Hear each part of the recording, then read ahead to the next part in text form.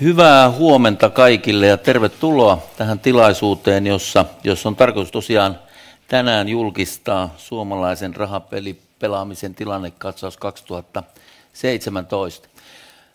Mun nimi on tosiaan Keinäsen Jari ja, ja tuota, osa porukkaa ei varmaan vielä tunnista henkilöä. Tässä STM tapahtui tuossa viime vuoden loppupuolella organisaatiouudistus, jossa pantiin vähän yksiköitä ristiin rastiin yhteen ja erilleen ja siinä yhteydessä rahapelihaittoihin liittyvät kysymykset siirtyivät sellaiseen ryhmään kuin hyvinvoinnin ja terveyden suojelu. Nimi sopii oikein hyvin tähän kokonaisuuteen ja siinä yhteydessä minusta tuli sitten ryhmän, ryhmän vetäjä ja on pikkuhiljaa opetellut myös rahapelimaailmaa, joka mulle tähän asti viime syyskuun alkuun oli hyvin hämärää, sillä en ruukaa juuri itsekään pelata valitettavasti, että siinä mielessä vähän oudompaa muuta kuin tietysti lottoa aika, aina aika ajoin.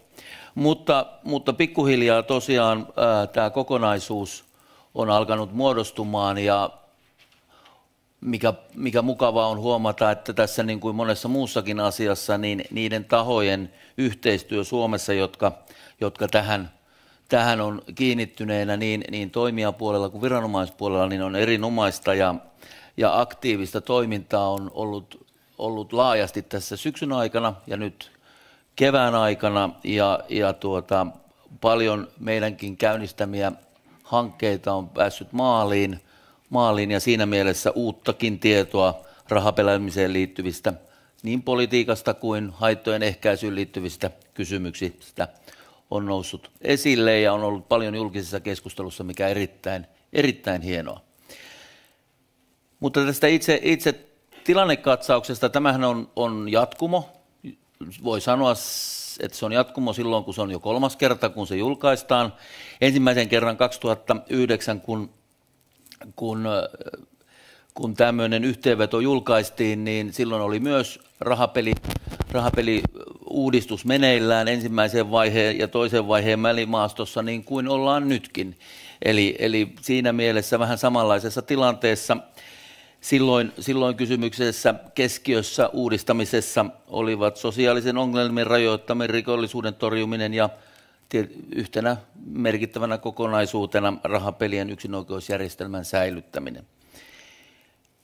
Ja niin kuin todettu, nyt kun tämä kolmas yhteenveto julkaistaan, niin meillä on jälleen kerran, kerran rahapeleihin liittyvä uudistus meneillään. Ensimmäinen vaihe toteutettiin siten, että 2017 tosiaankin rahapelaamisen toimijat y- y- y- laitettiin yhteen läjään eli, eli veikkaukseen ja vuoden 2017 alusta on, on toimittu tällä periaatteella ja siitä alkaa pikkuhiljaa sitten kokemuksia kertoa ja niistä varmaan tänäänkin, tänäänkin keskusteltaan, keskustellaan.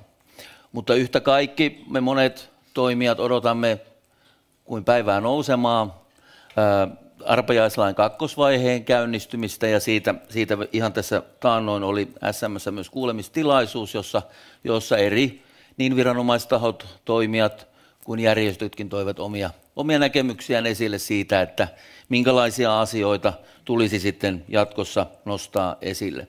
Sosiaali- ja terveysministeriölle kuuluu, kuuluu haittojen ehkäisemiseen liittyvät kysymykset ja siinä mielessä on paljonkin ajatuksia, mitä kakkosvaiheessa tulisi tulisi nostaa esille ja Mari Pajula varmaan omassa esityksessään niihin menee tarkemmin, mutta, mutta varmasti siellä, siellä pakollinen tunnistautuminen ja rahapelien saatavuuteen liittyvät kysymykset on, on keskiössä.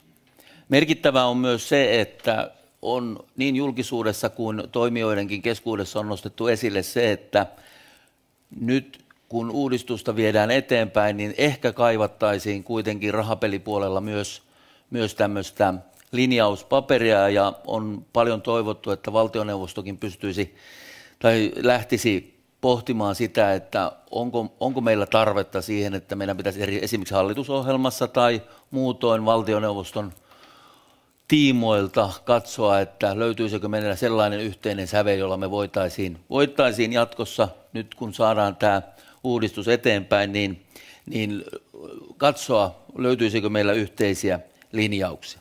Tähän varmasti tähänkin keskus, tätäkin keskustelua on hyvä tänään käydä, käydä, millä tavalla, millä tavalla yhteistä linjausta voitaisiin viedä esille.